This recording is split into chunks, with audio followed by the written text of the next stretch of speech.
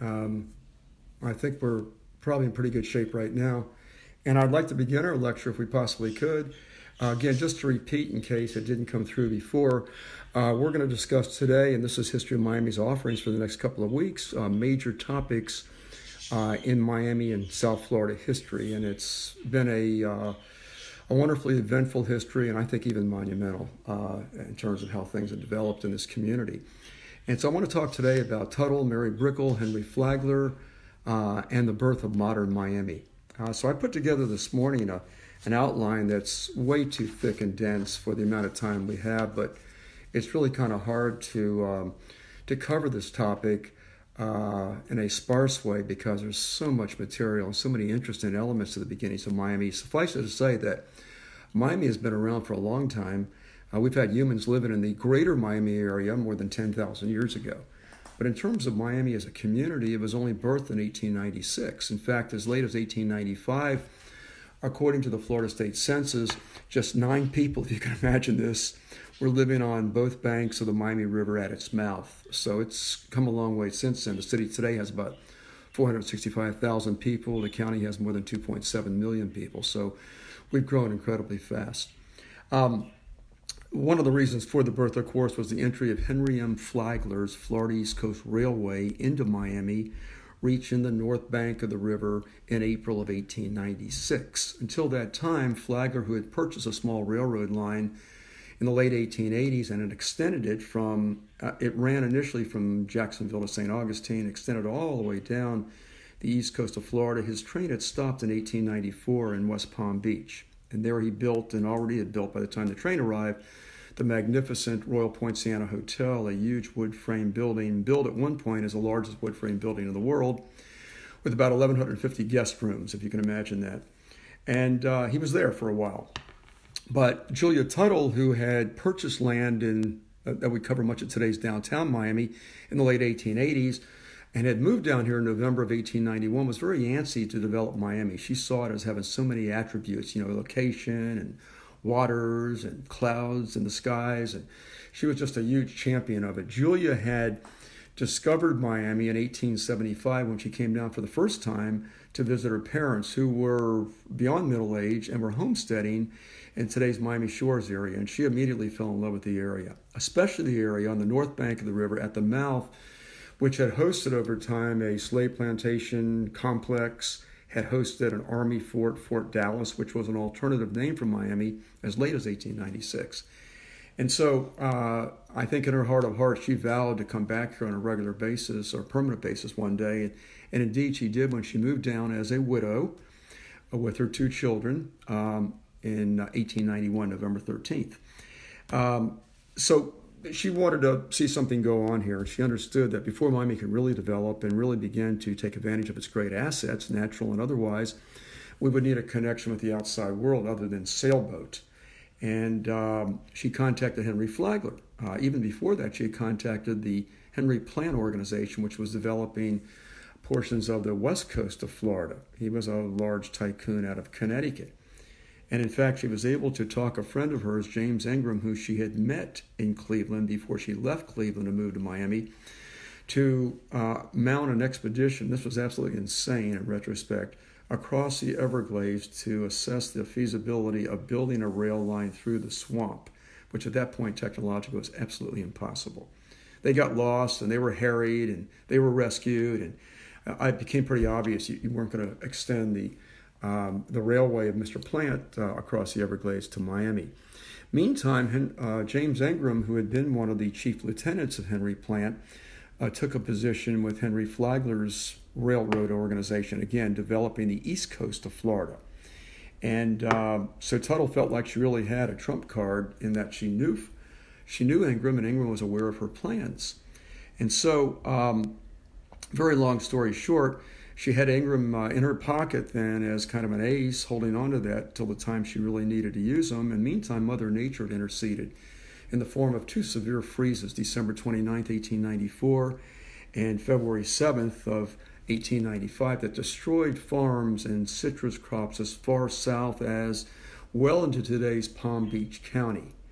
And um, if um, if Miami was spared the frost, which it was, the freeze, Uh, this would be the ideal argument then for uh, encouraging Flagler to move his railroad farther south to the Miami River. And that's indeed what happened. She was able to get the ear of Ingram. Uh, Ingram visited her. We're talking now in February of 1895. He went back with some undamaged orange blossoms, and I want to read to you uh, his account of that meeting in February of 1895 on the heels of the second freeze and how it had spared Miami.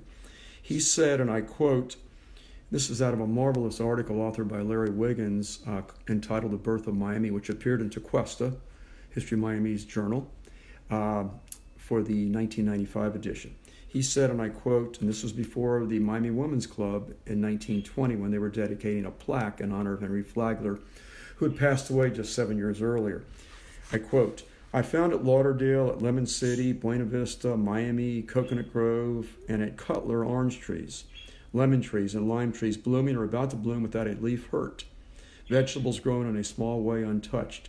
There had been no frost there. I gathered up a lot of blooms from these various trees, put them in damp cotton, and after an interview with Mrs. Tuttle and Mr. and Mrs. Brickell of Miami, I hurried to St. Augustine where I called on Mr. Flagler and showed him the orange blossoms telling him that I believe that these orange blossoms were from the only part of Florida, except possibly a small area in the extreme southerly part of the western coast, which had escaped the freeze. So here was the evidence that uh, Flagler would have that Miami, at least up to that point, was frostproof and might be a great place to extend his railroad, to build a resort, to develop a city. And so Flagler, upon receiving this and hearing the account by James Ingram, said, How fast can we get down there? And Ingram said, We'll make sure we get down there quickly. And by boat and by stage line, they ended up visiting Julia Tuttle in late February of 1895. Uh, talked with her. Flagler verbally agreed in consideration for a lot of land that she would give him out of her allotment of land. She had about 640 acres in downtown Miami, and the Brickells had thousands of acres on the south bank of the river, and they too agreed to throw in a lot of land in order to entice Flagler to bring his railroad uh, to the Miami River. And so the verbal offer then uh, was laid out, and Flagler accepted that in February of 1895. Um, he agreed, Flagler agreed in exchange for this land, and they got more specific as time went on about what the land would entail. Uh, he agreed to not only move his railroad down, but to help lay out a city, as it turned out on the north bank of the river and to build what today you might call a major tourist uh, hotel, which would be the Royal Palm Hotel in the DuPont Plaza neighborhood today. And there was a formal contract, a contractual agreement was signed and sealed in October of 1895 that updated this verbal agreement of February of 1895. And I wanted to read to you one small clause in this contract. I have it here in a, a book. And this is uh, clause 13. The party, the second part, covenants, that's Henry Flagler, covenants to construct at Fort Dallas. They're still calling it Fort Dallas. They haven't formally named it Miami. That will come with the incorporation of the city of Miami. Formally uh, to construct at Fort Dallas upon the location set apart for the same within the 100 acres aforesaid. This is very legalese, as you can see. Within 18 months after the completion of the railroad, a hotel. So he's going to build a hotel within 18 months of the railroad's entry. And in erecting said hotel, said second party, that's Flagler, agrees the said hotel shall not be erected or any other structure, whatever, south of line drawn from the northerly line, very legalese, of the residence of the party, the first part, this Julia Tuttle, easterly to the shore of the bay so as to interrupt a free vision of the bay from the present located residence a party of the first part. So what Flagler is agreeing to here is he will not build his Royal Palm Hotel at the confluence putting this book down now, at the confluence of the mouth of the river in Biscayne Bay because it would block Julia Tuttle's view of the bay from her front porch, which faced east. And so this is interesting because Flagler was worth scores of millions of dollars at that point, if not more, and Julia wasn't worth a lot of money, but she had the foresight and, let's use a, a Yiddish term, the moxie, uh, to approach Flagler with this request, and he accepted it. So we've got the agreement then. Meantime, even before the agreement was sealed, word had gotten out the railroad was going to move down to Miami. The Flagler people began to lay out the extension uh, by the late spring, early summer of 1895. They had 65 miles to go, and they began to, in a north south direction, fell trees, grade the rail bed, lay the track, uh, and eventually, of course, run the train over the track. Uh, initially, Flagler was, was going to run that railroad uh, east of today's downtown Fort Lauderdale through a piece of property known as Colee Hammock. It's gorgeous in Fort Lauderdale on the north bank of the New River that the Brickells owned. Uh, but Mary Brickell essentially said, You can't do that. That's choice land. I don't want to see it developed in that fashion. So, if you've looked at the trajectory of the railroad, and uh, I conduct a tour every December on Brightline uh, that takes our tour goers and myself, of course, from Miami to Fort Lauderdale, and we look at the at the train station Fort Lauderdale out straight north and northeast, and you'll see how the train tracks have moved at one point from a straight south direction, then radically straight west, and then south again because they moved away from encroaching upon that Colee Hammock area that Mary Brickell said was a no-no for railroad development. Uh, soon settlers began to pour into the area. Many of these, in fact, were farmers and growers who had been wiped out by those great freezes of 1894-95 coming to Miami in particular, but also other parts of the area along the right of way of the railroad uh, to get back on their feet again financially with new jobs, and in this case, primarily construction jobs. By the end of January of 1896, Miami's birth year, about 200 men were clearing the town site of Miami. On February 22, 1896, the Florida East Coast Railway entered what would be today the western edges of downtown Fort Lauderdale but it dead ended on the north bank of the New River because there wasn't any trestle to cross the river at that point. That wouldn't be completed until April of 1896 to allow the railroad then to move straight south from there. Uh, meantime, in February of 1896 in Miami, Isidore Cohen, the first documented Jewish settler in modern Miami, had set up shop as a clothier on the south bank of the river, but there wasn't any bridge there. So you know, you've got that particular challenge at that point. Eventually, within about two months, he would move his business to the North Bank, where the action was, much to the chagrin of the Brickell family. Um, in March of 1896, John Sewell, who was one of the big foremen for the Flagler organization in terms of their construction projects, moved 12 African Americans with him from West Palm Beach to the Miami River to begin to lay out uh, clear the land, lay the foundation, build the Royal Palm Hotel. And one of the first things they did was they leveled an Indian burial mound, which also contained the remains of some soldiers who had served at Fort Dallas in the 1830s, 40s, and perhaps even the 1850s. Um, Sewell estimated it was about 25 feet in height and about 75 feet in length. And in photographs, we have photographs of that, that, that first day of this action uh, you can see that it is quite a burial mound. Incidentally, that mound stood right on the edge of the water. The waters of Biscayne Bay at that time came in as far uh, west as about where um, that new complex, uh, Met Square, sits on the north bank of the river. In other words, it comes in the equivalent about three to four blocks west of where the shoreline is today. That's all landfill going back to the 1920s.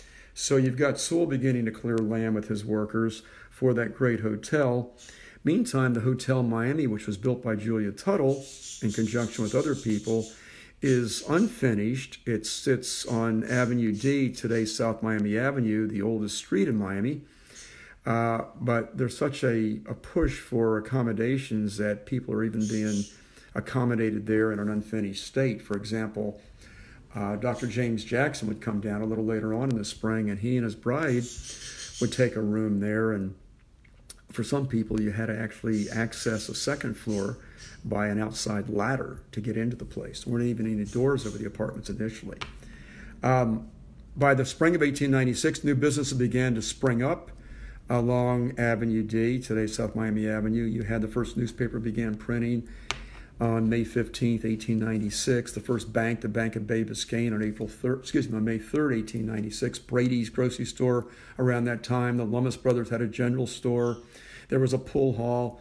And these are buildings, wood frame, Dade County pine, because it was a primarily a piney wood area at that point uh, on the north bank as opposed to the thick hammock on the south bank of the river. And so you begin to see them developing along that avenue. Uh, lots of Miami are now for sale. The town was dry initially. Those deeds to all the property there. Julia Tuttle was very much a uh, temperance uh, person, didn't want any booze on her property. Flagler agreed to that, of course, except for one exception. You'd be able to imbibe alcoholic beverages in his Royal Palm Hotel once it opened, which was at the outset of 1897. The tracks reached, meanwhile, the railroad's progressing south. The railroad tracks reached Lemon City at about 61st Street uh, in early April of 1896, and they were in Miami four days later, April 7th. So they're really moving with hundreds of people at various times working for the railroad to extend it all the way south to the Miami River. First train entered Miami with Flagler and some of his top officials aboard, unscheduled in many ways, April 13th. The first scheduled passenger train, April 15th, 1896. And soon after that, with businesses going, the hotel itself nearing completion, uh, hundreds of people now in Miami, primarily men, many of whom had temporarily left their families to, to situate themselves with a new job before bringing their families down here with them uh, they began to talk about incorporation. And certainly the Flagler people are very interested in incorporation. There's an informal meeting in June of 1896 to schedule an incorporation date, to decide on the proposed city's borders, uh, its name, et cetera, et cetera. And one of the big pushes came from the Flagler organization. They wanted to deal with how are you going to police the city, what's the story on water for people to drink, what are you going to do with, with sewage and its treatment, and so there was this meeting that uh, occurred in the middle of June of 1896 that then set a date for the formal incorporation of Miami as a city on July 28, 1896. And to come into, uh, according to Florida Code at the time, to come in uh, as a city as opposed to a town or a village, you would need 300 registered voters. And we had a lot of people, and again, it was unfortunately only for males at the time. And the irony, of course, is that Julia Tuttle's a mother of Miami and could not vote at this meeting. But you had a, a lot of males who were voters. Uh, you had a lot of African American workers who were registered by John Sewell uh, to become voters. In fact, 181 of them would be participants in the incorporation meeting. He referred to them as his black artillery. Sewell wrote a memoir in the 1930s and uh, talked about that early incorporation. So at the meeting that took place in the lobby building, a two story wood frame building not too far from the Miami River, North Bank, uh, on the east side of Avenue D is where the incorporation took place between 2 and 10 p.m. We didn't have electricity at the time, so you had to burn something to illuminate the building. As nighttime descended upon this brand new city, incorporation took place there, and by acclamation, the voters, and altogether 368 people at different times attended the incorporation meeting. They voted by acclamation to incorporate and organize a city government under the corporate name of the City of Miami. They chose that name over Fort Dallas. And they also agreed on the boundaries that had been tentatively agreed to uh, at that meeting in mid June of 1896. Miami's northern border would be today's uh, northwest, northeast 11th Street. It would go east as far east as a mile into Biscayne Bay, as far south as Biscayne Bay. And then the western border is very interesting. Northwest 7th Avenue, Northwest 8th Avenue as we're moving south, Southwest 8th Avenue, and then as we're moving east, Southwest 11th Street over to, as we're moving east again, uh, and south, uh, Southwest and Southeast 15th Road. Uh, those were the original corporate borders then of this young city of Miami, or I should say, this brand new city of Miami. They also selected the royal palm tree as an official city tree. Um, they elected a mayor. Um, uh, John B. Reilly, who was the son in law of Joseph A. McDonald, who was Flagler's most important representative, uh, overseeing incorporation and overseeing the, the building of early Miami. Uh, they also selected then elected a board of aldermen, the lawmakers from Miami. And it was a large board with a lot of the most prominent people, including Joseph A. McDonald, a man named Walter Graham, who was a newspaper editor, an attorney, a physician. It goes on and on and on. Um, upon the incorporation of Miami and upon these various actions taken, uh, we mentioned the royal palm tree as a city tree, which was good because it's native to the Everglades and areas around there, including parts of the Caribbean. Um, the county solicitor, uh, James B. Sanders of West Palm Beach, uh, was there, and he said, Let's let loose with three cheers for the new city of Miami. And essentially, in unison, um, the incorporators proceeded that way. The best talk for incorporation was given by an African American, um, Alex or A.C. Lightburn. Uh, this is chronicled by Isidore Cohen in his memoir of early Miami. And then at the very end of everything, Henry Flagler sent a congratulatory telegram. I wanted to share that with you and make sure we have a few minutes for questions. Uh, Henry Flagler received from Joseph A. McDonald. Um, he had wired the results to Flagler, who was in New York at the time. He had an office in New York as well as St. Augustine, as well as West Palm Beach. Uh, Flagler said, Telegram received. I congratulate the citizens of Miami upon the harmony which marked the election yesterday and trust that the auspicious beginning will result in future prosperity, which will equal the most sanguine expectation of the people of the new city.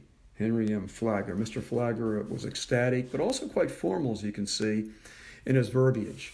So we've got a brand new city of Miami that went from nine people in 1895 along the mouth of the river to an estimated within the corporate limits now of hundreds of people, perhaps 700 people at that time. So let's see if we can um, take some questions here. I see so many nice notes from different people. Um, uh, and I'm all set to handle any questions you might have. You might feel free to kind of write them in. Um, okay, let's see. Please review how you get to the show on Facebook. I'm going to put you in contact, uh, Camille, with uh, Vanessa Contreras from History Miami. She's the, uh, the tech guru. You can reach her at uh, 305 202 4094, and uh, she'll certainly help you get into this program. And I want to say hello to Susan Gladstone at the Jewish Museum of Florida, Melissa Myers watching. Hi, Melissa. Um, Vanessa, of course, is watching. Uh, Laney Wright's watching. Hi, Laney. How you doing? Pamela's watching, Julio's watching, Kiki, uh, Corey, uh, Claudia, thank you, Balsies, Vendor, Allison Smith. Where did the name Miami come from? That's a great question. There's so much speculation behind that. There, there was a group of Native Americans living along the west side of Lake Okeechobee at the time of the Spanish entry, which was in the 1500s. And in fact, Lake Okeechobee at one point was known as Lake Miami, spelled differently M A I Y A M I while the Miami River had many different names, but by the 1800s, Lake Okeechobee is Lake Okeechobee, and the, and the Miami River is the Miami River. So that's probably one way in which Miami became the name. Where did Fort Dallas come from? Jacqueline's question. Why was it passed up from Miami? Fort Dallas uh, came from the fact that there was a fort named for a naval officer in the area in the 1820s. There was a fort during the Indian Wars, the first, excuse me, the second and third Seminole Wars that were fought from the 1830s to the late 1850s. And they had called it Fort Dallas. It had been on Key Biscayne and then moved to the Miami River back and forth a couple times.